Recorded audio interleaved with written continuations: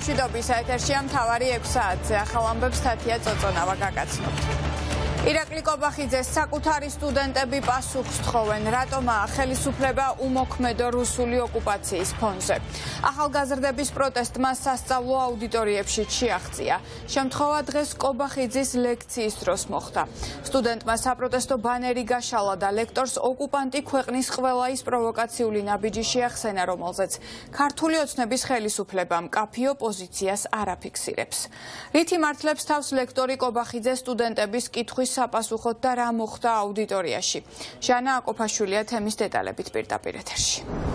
დიახ, დღეს სტუდენტებს ირაკლი კობახიძის მიმართ ჰქონდათ რამდენიმე კითხვა, რაზეც პასუხი მას დღეს ვერ მიიღეს სტუდენტებმა ქართული ოცნების თავმჯდომარეს კითხეს ოკუპირებულ ტერიტორიებზე თუ რა რესურსი აქვს საქართველოს ხელისუფლებას აღმოფხვრას ის ინციდენტები, რომლებიც თითქმის ყოველდღიურად ხდება დროებით ოკუპირებულ რეგიონებში. სტუდენტმა ზვია ცეცხლაძემ დღეს თბილისის სახელმწიფო უნივერსიტეტის აუდიტორიაში ირაკლი კობახიძეს მაგალითად მოუყვანა ბოლო დროს განვითარებული მოვლენები, მათ შორის ოჩამჩირეში რუსული ბაზების განთავსება, ასევე ლომის სასწმინდა გიორგის სახელობის ტაძრის გარშემო არსებული მოვლენები და ასევე ირაკლი ბებუას ტყვეობა. ზვიად ცეცხლაძემ დღეს თბილისის სახელმწიფო უნივერსიტეტის შენობაში მისული იყო ბანერით, რომელზეც ეწერა: "ვუყუროთ ოკუპაციას თუ ვიზამთ რამეს". რის საპასუხოდაც დღეს სტუდენტებმა ირაკლი კობახიძისგან მიიღეს ერთადერთი პასუხი ქართული ოცნების თავმჯდომარემ. სტუდენტების ეს კითხვა შეაფასა როგორც თემიდან გადახ ხვევა და მათ ურჩიათ რომ მომავალში სალექციო დროს მსგავსი თემები აღარ წამოჭრან.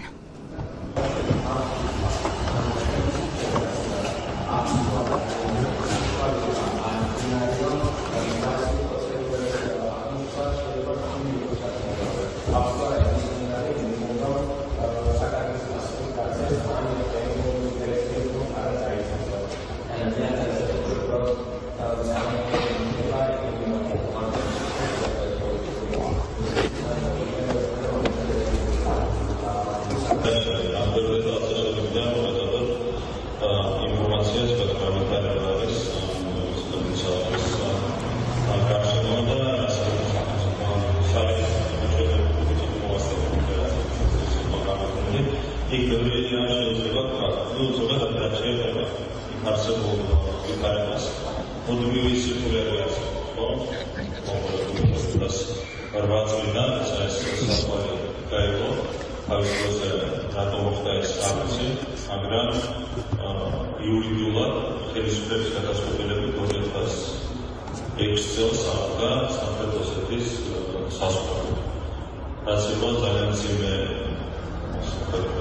პილოტურად გადასწრება ეგრე მომრებული არის ეს პრობლემა მე მოხდა ეს პროცედურული აღიარება არის შესაბამისად ეს ეს გავლებული და მიდიო რეჟიმში ის პროფილი პილოტურად რეზოლვები და ნუ რეჟიმში უწევს სამსახურებთან ამბავ ჩემს კითხვაზე, ანუ კითხვა მდგომარეობდა იმაში, აქვს თუ არა ხელისუფლებას საშუალება და სურვილი რომ იმოქმედოს ეროვნული ინტერესების დაცვის ფარგლებში. და ზოგადად გამოსდის ეს არ გამთაახლობით ამ სტილის რასაკეთებს ხელისუფლება რა?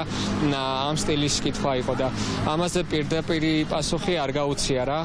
ზოგადად ის თქვა რომ ლექციის ფორმატში ეს არ ჯდება და პარლამენტში შესაძაც იქნება შეხვედრა, მან უფრო მკაფიოდ შეიძლება ამაზე საუბარი.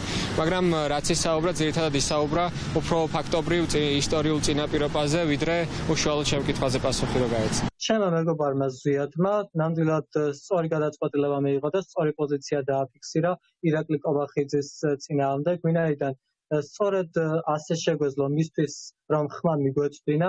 როგორც უკვე იცით, ლექციაზე უამრავი სტუდენტი არის, რაც უკვე სტუდენტებში პროტესტის ტალღასაც ზრდის. თანაირად ჩვენ ხმას ფიზიკურად ვერ მივაწვდით და ეს პერფორმანსი იყო ძალიან კარგი და ძალიან საინტერესო ამხრივ. ქართული ოცნების თავმჯდომარე სირაკლი კომბახიძის მიმართ ქართულმა სტუდენტებმა პროტესტი არაერთხელ გამოთქვეს თბილისის სახელმწიფო უნივერსიტეტის სტუდენტებმა. უნივერსიტეტის შენობაში აქცია პერფორმანსები მას შემდეგ მოაწყვეს, რაც საქართველოს პარლამენტში რუსული კანონის განხილვა მიმდინარეობდა, რომლის ერთ-ერთი ავტორი და ინიციატორი სწორედ ირაკლი კომბახიძე იყო. უნივერსიტეტის შენობაში მისულ ირაკლი კომბახიძეს ქართველი სტუდენტები საპროტესტო ბანერებით და რუსული რუბლებით დახვდნენ. მადლობა ჟანა აკოფაშვილი საუბრობდა პირდაპირ ეთერში ვიცე-პრემიერი გაურბის მთავარი არხის კითხვას, როგორ და რატომ აღმოჩნდა ქართული დელეგაცია ომის დამნაშავე პუტინთან ერთად ერთ სივრცეში და რატომ არ დატოვა ფორუმი დემონსტრაციულად ლევან დავითაშვილმა ელჩთან ერთად, როდესაც პუტინის სიტყვით გამოდიოდა. სწორედ დავითაშვილია ის, ვინც საქართველოს ჩინურ ფორუმზე წარმოადგენდა. ღარიბაშვილის მოადგილე პუტინთან ერთად ვახშამს დაესწრო და მის მიმართვასაც დარბაში ბოლომდე უსმინა. საზოგადოება პასუხებს მთელი მთავრობისგან ელოდება. პრემიერი ministrთა კაბინეტის წევრებთან ერთად დღეს საჯაროდ გამოჩნდა, თუმცა განმარტებების გაკეთება არც ირაკლი ღარიბაშვილმა ჩათვალა საჭიროდ. ბატონ ლევან თქვენ ჩაწერა გვინდა?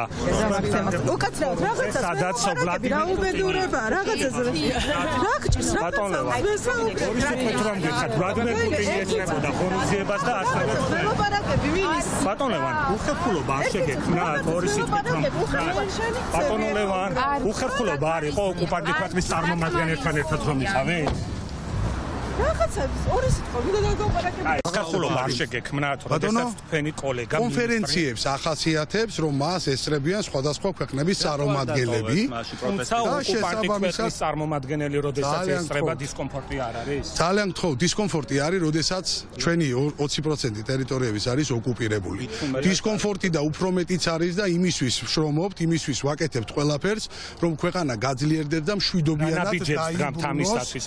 ეს ოკუპირებული ტერიტორია. ფიქრობ ამომწურავად გაგეცით და დაგემშვიდობებით. ეს არის რუსული ოცნება, რუსული ოცნება, რომელიც ემსახურება პუტინს, ემსახურება კრემლს. მასთან ერთად ბანკეტებზე ღიად ჰეიფობენ და პიტაპირ ვამბობ რომ არ ემსახურებიან ქართული ხალხის ინტერესს. ის, რასაც ქართული ოცნება აკეთებს, ეს პირდაპირ უკავშირშია იმასთანაც რაც დღეს აქ ხდება. საერთაშორისო სისხლის სამართლის დამნაშავე ვლადიმერ პუტინი, რომელზეც ჰააგის პროკურორის ოფისს აქვს დაკავების ორდერი გამოცემული, შეუძლებელია რომ ის ესწრებოდეს რაიმე ღონისძიებას და ამის შესახებ წინასწარ არ იცოდნენ დამსწრე ადამიანებმა.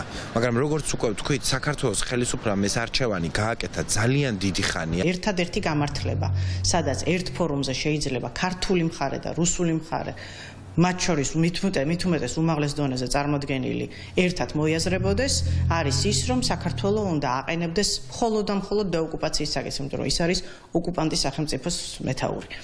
ერთადერთი რაზეც შეიძლება ქართულ მხარეს ამ ეტაპზე ამ დონეზე საერთაშორისო ფორუმზე მასთან კონდეს სასაუბრო არის ეს. ამ ფორუმზე ასევე ჩანდა რომ იქ მხოლოდ რუსეთის მოკავშირე სახელმწიფოების ერთობა იყო კრემლიდან ისევ ქართული ოცნების ქება ისმის. მოქმედ ხელისუფლებას პოლიტიკურ ნაბიჯებს ამჯერად რუსეთის საგარეო საქმეთა მინისტრი უწონებს და 3+3 ფორმატში ებადიჟება. საუბარია პლატფორმაზე, რომელიც ჩვენი ქვეყნის ეროვნული ინტერესებისთვის საფრთხის შემცველია. ნათია ქოქოსაძეა თემის დეტალებით პირდაპირ ეთერში.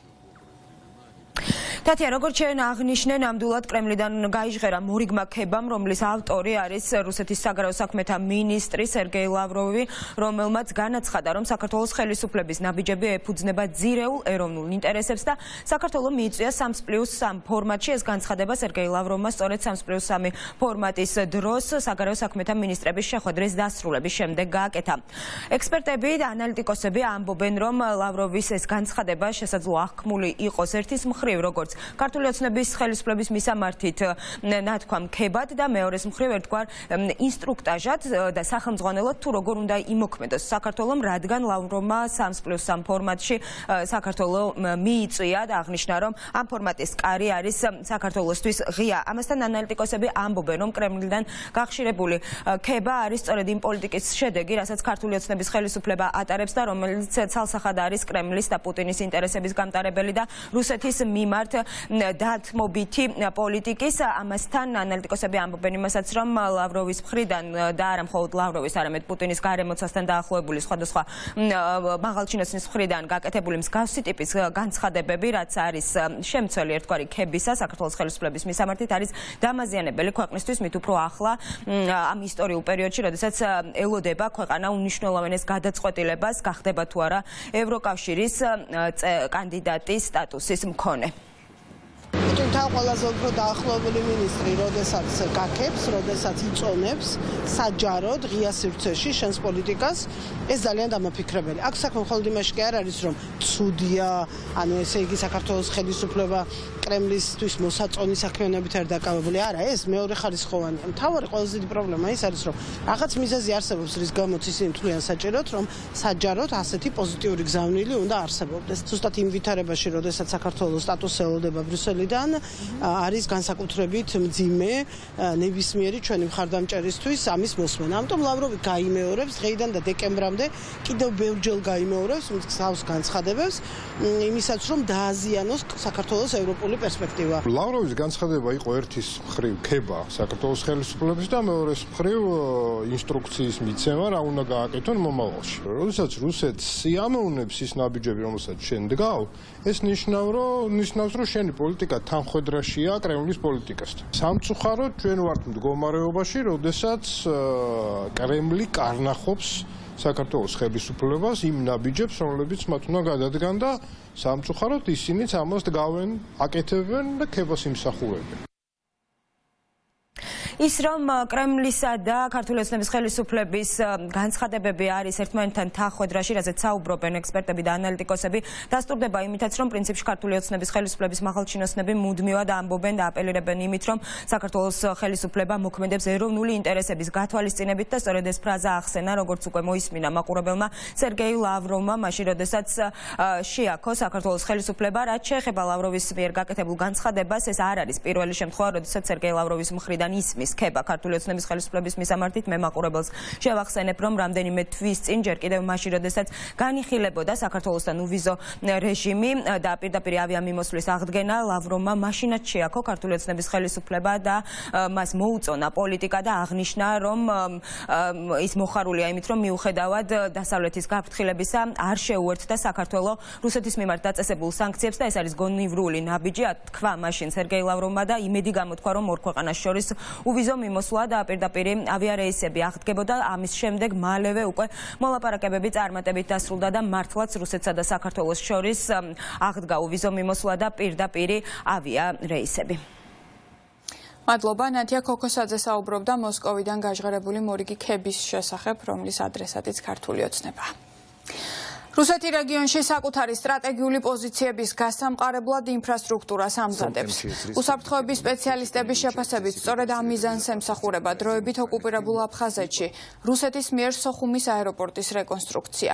როგორც ცნობილია, შეთანხმება სოხუმის მარიონეტულ რეჟიმსა და მოსკოვს შორის უკვე გაფორმებულია.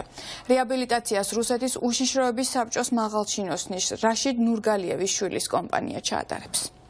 საგვირგველი ახორციელებს დიდი ხნის მიზანს აფხაზეთი ოკუპირებული ტერიტორიიდან გადააქციოს ანექსირებულ ქვეყნად საბოლოო ჯამში მიითვისოს აფხაზეთი და ამის ერთ-ერთი საფეხური აი ამ გეგმის ერთ-ერთი საფეხური გახლავთ ბუნებრივია სამხედრო და სამოქალაქო ან ორმაგი დანიშნულების ინფრასტრუქტურის გაძლიერება საქართველოს ოკუპირებულ ტერიტორიაზე. რუსეთისთვის საკმაოდ ისეთი დამაზიანებელი ფაქტორი არის ანაკლიის სპორტის განვითარება და ამით ის შეეცდება საქართველოს სატრანზიტო ფუნქცია ჩაშალოს დღეს გიორგი ანწუხელიძის ხსოვნის დღეა. სოფელ ქვემოალვანში რუსეთთან მებრძოლი ეროვნული გმირის ბიუსტი დაიდგა. ცერემონიას მისი შვილები, ოჯახის წევრები და მეგობრები ესწრებოდნენ. დღის განმავლობაში კულტურის სახლის ეზოში სხვადასხვა ღონისძიებები მიმდინარეობს.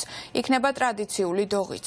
უმცროსი სერჟანტი ანწუხელიძე 2008 წლის აგვისტოს ომის დროს რუს ოკუპანტებს ტყვედ ჩაუვარდათ და სასტიკად აწამეს. საბოლოოდ ის ოსმა სეპარატისტებმა ცემით მოკლეს და ოკუპირებულ ცხინვალში დატოვეს. 2008 წლის ნოემბრამდე ანწუხელიძე უგზო უკლოდ დაკარგულად ითვლებოდა, თუმცა მოგვიანებით ოკუპირებული ცხინვალიდან გადმოსვენებული 10 ქართველი ცხედრის გენეტიკური ექსპერტიზის შედეგად დადგინდა, რომ ანწუხელიძე ერთ-ერთი მათგანი იყო.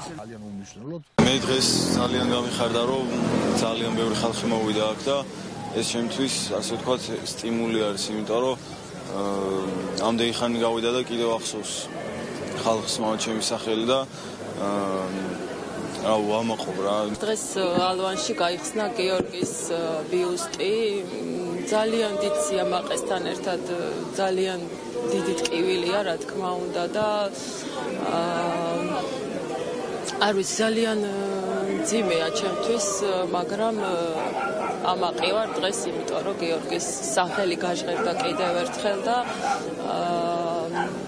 არ ვიცი, მადლობა მინდა ყველას გადავუხადო თითოეულ ადამიანს, ვინც მიიღო მონაწილეობა ამ ამ იმის ორგანიზებაში, ორგანიზატორებს, ადამიანებს, რომლებიც უცხოები არიან და ერთი ლარიც გადმორიცხეს. ეს არის მართლაც მნიშვნელოვანი და ამაღელებელი დღე, არა მარტო თუშებისათვის და იმ სოფლის მაცხოვრებლეთათვის სადაც გიორგი დაიბადა, არამედ მთლიანად მე ვფიქრობ, რომ საქართველოსათვის, ხო? იმიტომ რომ გიორგი იყო და იქნება როგორც რუსეთთან გამარჯვების მთავარი სიმბოლო. დღევანდელი დღე ალნელებისთვის, თუშებისთვის, რა თქმა უნდა, განსაკუთრებული მნიშვნელოვანია და სწორედ თუში ახალგაზრდა, რომელმაც ქართული ისტორია დაწერა კიდევ ერთხელ და გმირობის მაგალითი დაწერა და აჩვენა ჩვენს მომავალ თაობას, ჩვენ შვილებს, სწორედ გიორგის ისტორიაზე, გიორგის მოგონებებზე, გიორგის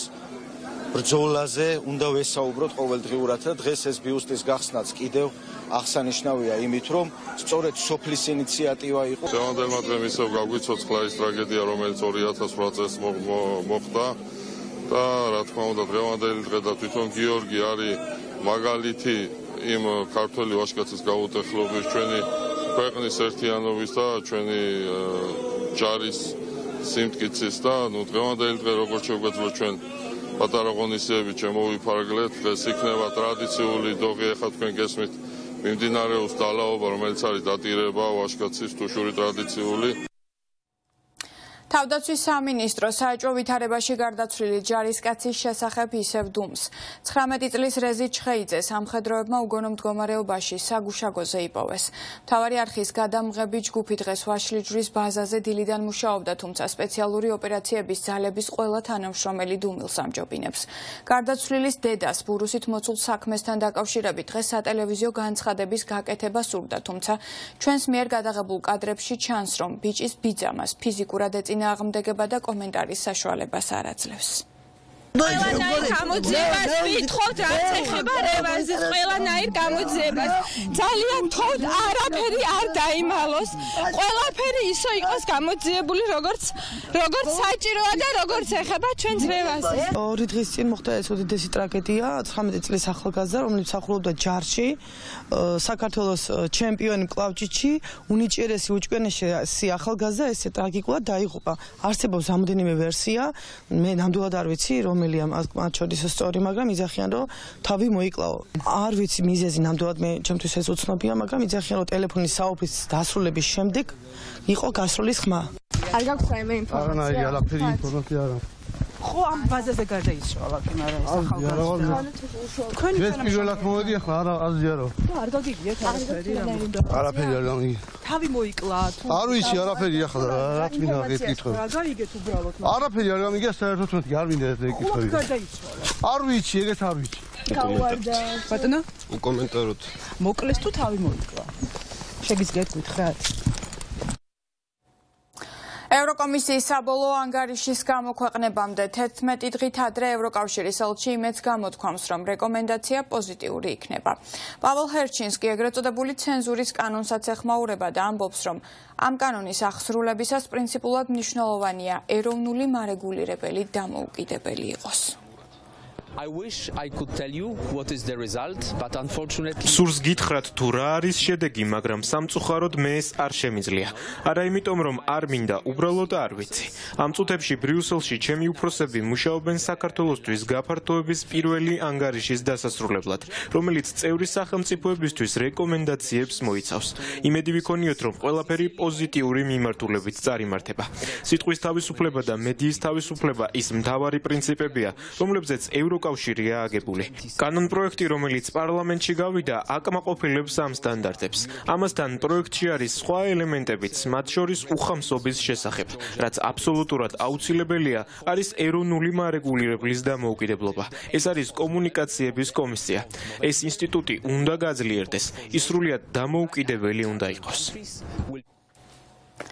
ამერიკის წარმომადგენელთა პალატის ახალი სპიკერი ერთ-ერთია იმ 13 რესპუბლიკა კონგრესმენს შორის, რომლებიც 2020-ში ბიძინა ივანიშვილის სანქცირებას ითხოვდნენ.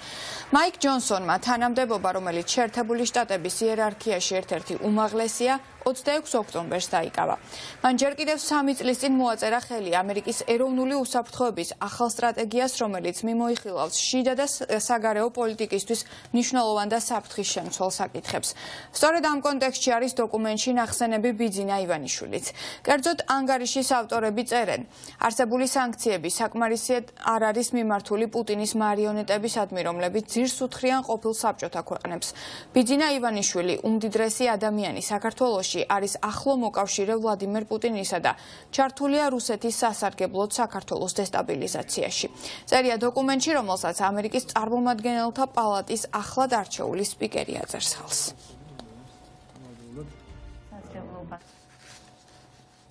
პოლიტიკა როგორც ძალაუფლების შენარჩუნების ინსტრუმენტი. ახალი კვლევის თანახმად, რომელსაც გამოცემა CNBC აქვეყნებს, სოფლიოში მილიარდერების გაპოლიტიკოსების ფაქტები მზარდია.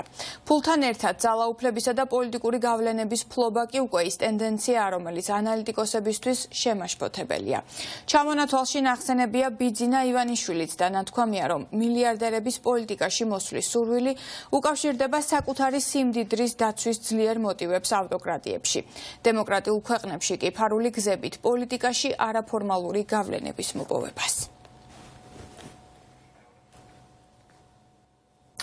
დღეს რიკოთის მაგისტრალის 27 კილომეტრიანი მონაკვეთი გაიხსნა. გზის ამ ნაწილში ავტოტრანსპორტის მოძრაობა უკვე შესაძლებელია. ინფრასტრუქტურის სამინისტროს ინფორმაციით, რიკოთის მაგისტრალური გზის ახალი 27 კილომეტრიანი 4-ხსოლიანი მონაკვეთი იწყება ხარაგაულის მუნიციპალიტეტის სოფელხევთან და თავდება ზესტაფონის მუნიციპალიტეტის დაბა შორაპანთან.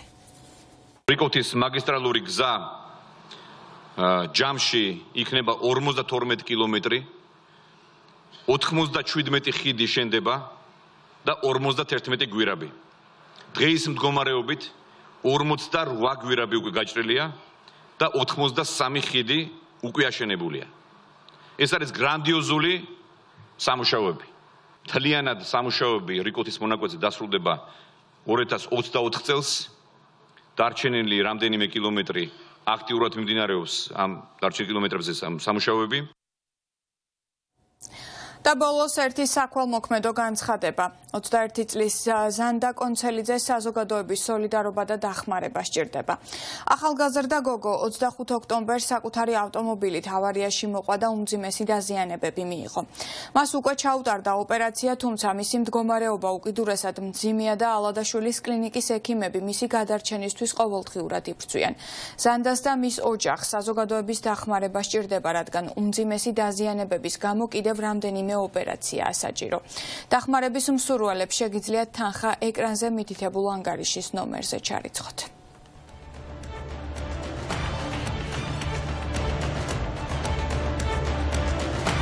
ასეთი იყო ახალი ამბები ამ დროისთვის მთავარი ეთერში უკვე 9 საათზე ნინო გაზდელიანთან ერთად ძალიან საინტერესო თემებით დაგიბრუნდებათ მე კი გემში დობებით ნახვამდის